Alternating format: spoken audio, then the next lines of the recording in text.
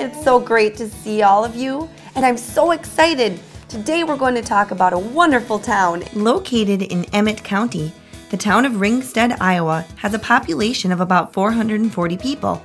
Although it is small, the town is big on spirit, and that spirit can be seen in the way Ringsted's residents care for their town, their well kept homes, and the support they give to the town's small businesses.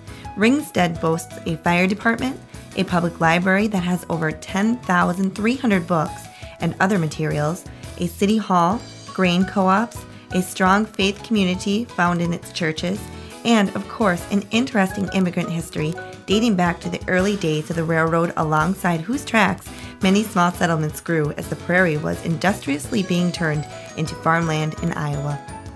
Ringsted is especially well known for its Danish Lutheran heritage. Ringsted's original founders organized the St. Ansgar Danish Lutheran Church there in 1882.